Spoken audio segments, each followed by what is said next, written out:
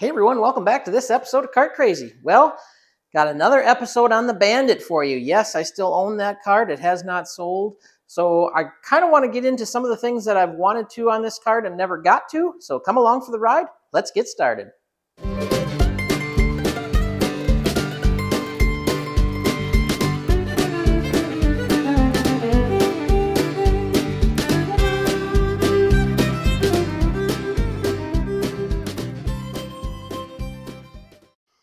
All right, here is the Bandit. Um, has not really changed any since the last time y'all saw it. Um, literally, I don't think I've done anything to it other than drive it and enjoy it here for the last probably two months, I guess. It has been for sale. Kind of the wrong time of year. And another thing my wife pointed out is she's like, it looks just like every other golf cart, but you know, jacked up with nice wheels and nice seats. And I'm thinking, well, you're probably right. There's no headlight kit on it. I did actually get on the waiting list for a headlight kit for it. They're still on back order. So my plan was, why don't I do what I was originally going to do? I have all the parts here for it. That is um, basically, well, not everything, but the majority of what we need to do the um, tempo conversion is what I'll call it. Um, that's going to be a newer style front end. I've got to get the cowl. That's actually in the other room. I just realized that when I turned the camera around that I didn't bring that in here yet. So I'll grab that. But I also ordered these uh, fancy lights. Uh, and these are supposed to be able to hook up to your phone and you can change these whatever color you want, like red, blue, green on this outer edge here. Uh, looks like it comes with everything, the, the blinker stick, all the wiring, even the uh, voltage reducer. So probably the biggest challenge of all this is going to be cutting those headlights out. I, I'm sure it comes with some kind of a template or something, but getting that right um, and then just reversing what we did here. I did order um, the correct side pieces. These aren't even the right ones that are on here for that. Um, for the tempo conversion, I just have to uh, find them. I, I, stashed them somewhere and I'm not 100% sure where I put them, so I got to dig those out. And that's pretty much everything we need. Actually, the front bumper is a little bit different as well. This one probably would work, but I see I never even bolted this one in. It's just sitting there. So we'll kind of reverse what we've got going on there and kind of eyeball this other stuff up and see what we need to do to get these uh, headlights cut out. All right, found that piece uh, in the other room. And I'm just going to go ahead and pull everything off here. Hopefully I can leave the windshield and everything on for now. I will have to pull it off probably to do these um, little deflector plates when I find those because I don't think they'll go off the bottom. I think they actually have to go off the top, which means the windshield, the roof, and everything's got to come apart. But we'll worry about that later. Let's get the uh, let's see if we can get this nose removed and start reassembling.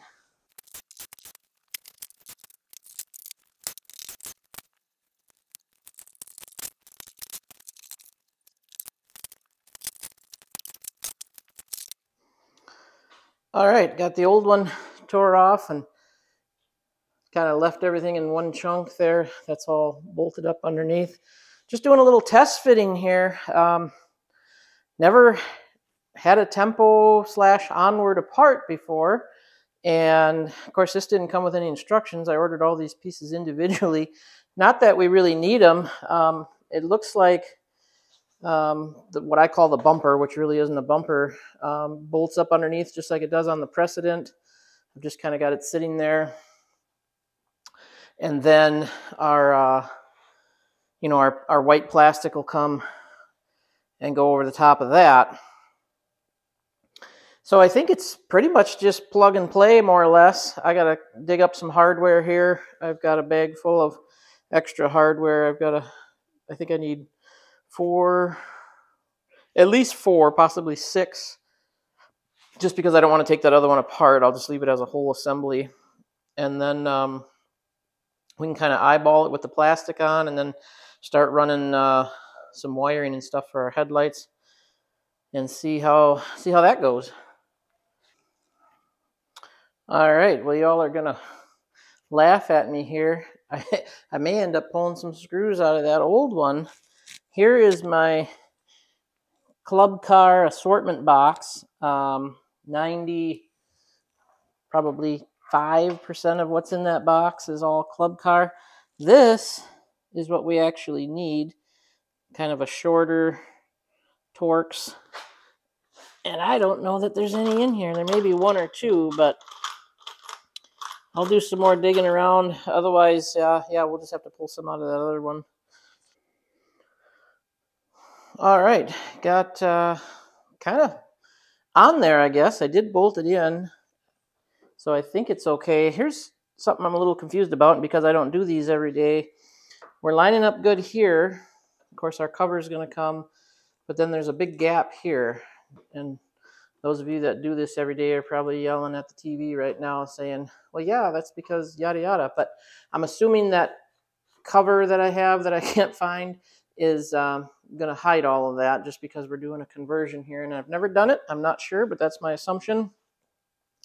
So let me get um, our plastic, our white plastic. Let me get all the, uh, the protective coating off of that. And we'll kind of set that in there, see how that looks. And then we can kind of eyeball these headlights.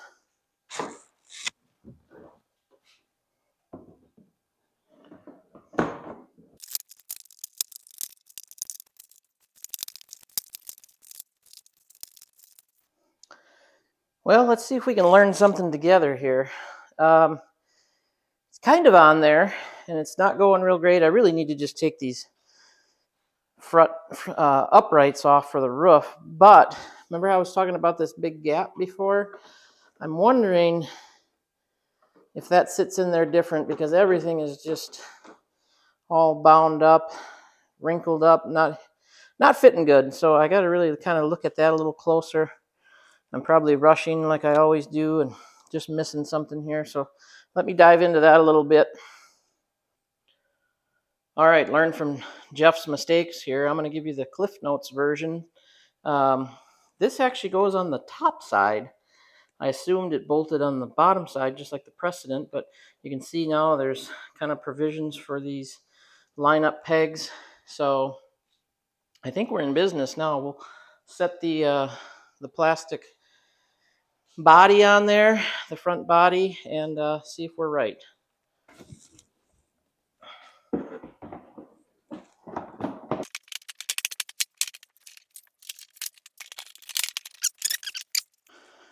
All right, well, that looks a lot better.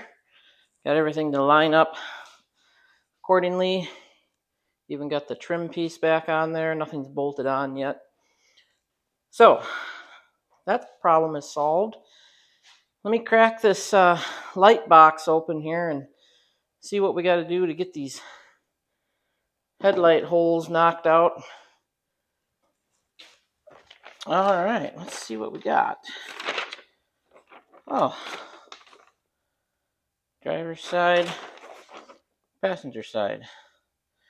Well, that's about as generic as that uh, generic can get, but hopefully we can make that work. I was hoping for like a chunk of plastic or something like this that would sit in there. Oh, that might work. And we could trace around the inside. Oh, good. There's a picture book. That's my favorite. And being that I've never done one of these before, I'm assuming these go in uh, on the back side. And then your headlight assembly must clip into that or bolt into that somehow.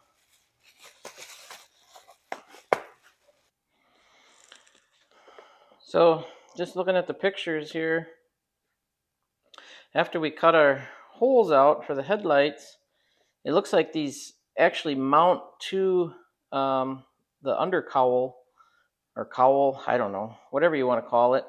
And then your body kind of goes back over the top. So getting those in the exact right spot is probably pretty important. Looks like it does come with a maybe a little trim ring or something, but it's probably not very forgiving. That's what it should look like when we're done.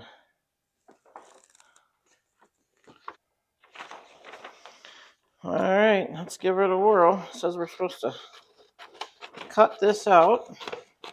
Didn't know it was going to be arts and crafts day today. I would have wore different clothes.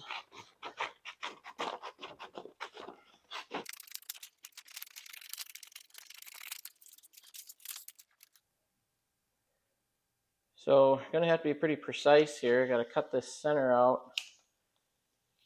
And then I can come in here with a marker, mark that, drill a hole, and then I'll use my air saw. I mean, what's the worst that can happen? We screw up a expensive cowl? Yeah, yeah that could definitely happen.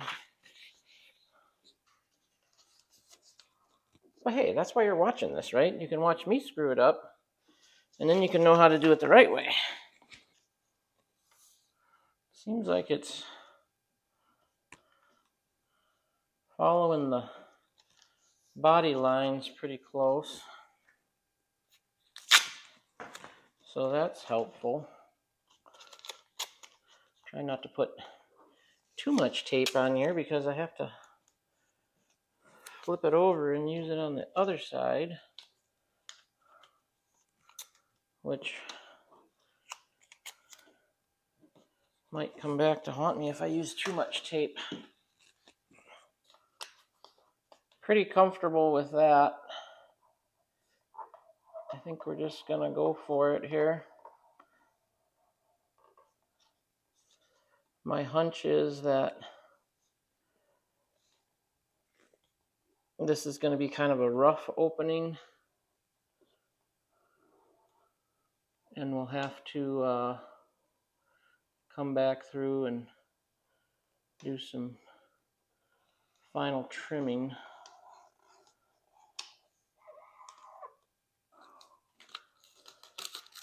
Somewhat straight, which is good.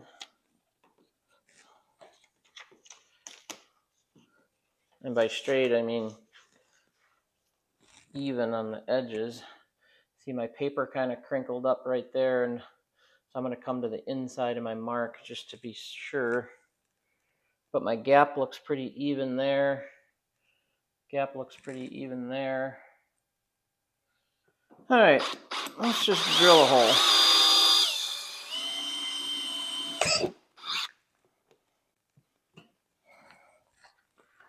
And I am terrible about getting stuff straight and where I want it. So not real confident in myself here.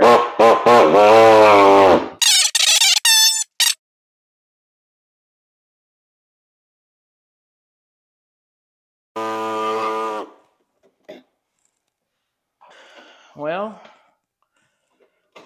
it's a start anyway. Probably have to come through here with my little air die grinder and get it a little better, but we have a headlight hole. So that's a plus. Now we can come over to this side and there we go. Repeat the process.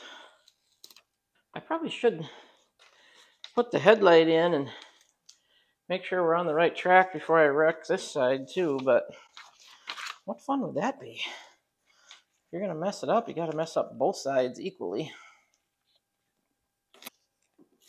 Just going to kind of kamikaze it here.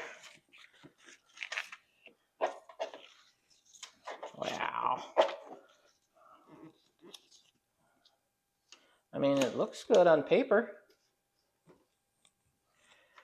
Oh, I know. My jokes are getting worse here. That edge looks good. That edge looks good. Okay, let's just go for it, I guess. This is maybe a little low. Let me redo that. I know, I said we were going to go for it. Now I'm redoing it. All right, where's my Sharpie? coloring was not one of my favorite pastimes. It's bad, but it's going to have to work.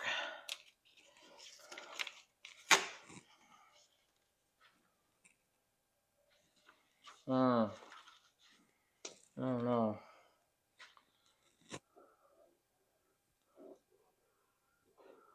I might have to do that over. Either this side's wrong or this side's wrong, but they're not the same. I almost think that corner's going to be up higher, but I think I'm going to get it cut out the way I have it. And then can always go bigger, but we can't put material back. So let's just start with what we've got and go from there, I guess.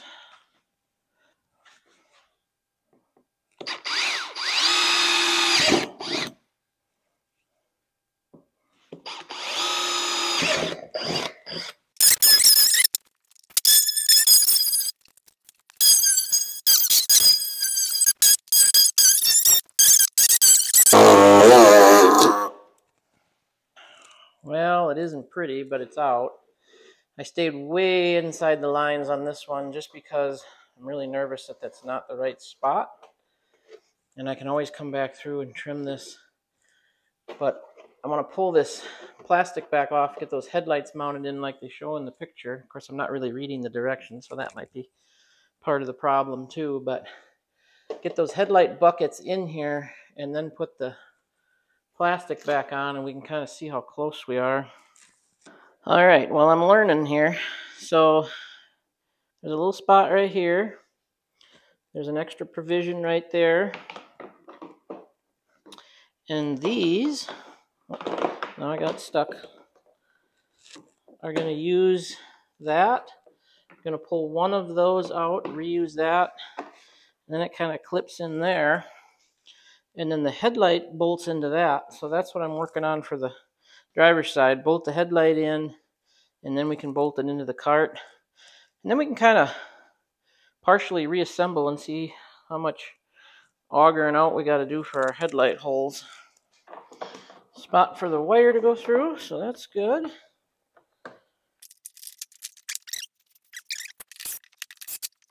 Okay. Now, let's see how much trimming we got to do.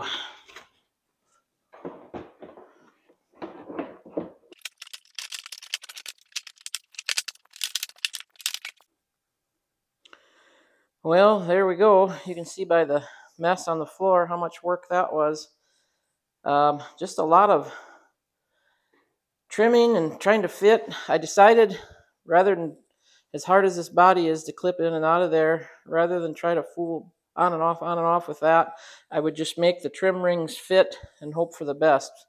And um, that's what I did. I didn't worry about the headlight placement so much, just kind of made those trim rings fit. There's enough give and take around here that you're not going to see where it might be off a little bit. And actually turned out pretty decent. Gives the cart a whole another look. I know that headlight looks black. There we go.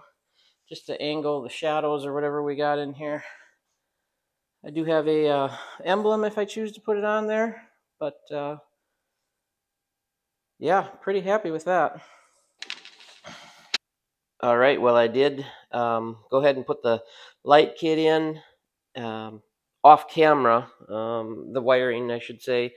I've got the tail lights going back here. Shop is full again, so I can't get all the way back there. But um, just uh, ran out of time to get everything on film, but got everything all nice and tidied up in there and zip tied, so I'm happy with it. Um, did end up with a USB charge port and uh, of course, the button for the hazards. And I'll turn the lights off here so you can kind of see. Um, well, you can kind of see them now, I guess. So if we turn the app on, we can, um, on the phone, we can adjust those and have those different colors and stuff for, um, you know, depending on what season it is, if you want them blue or green, or you can just leave it like that where it's multicolored too. But uh, we'll get into the app and see what all our options are for that.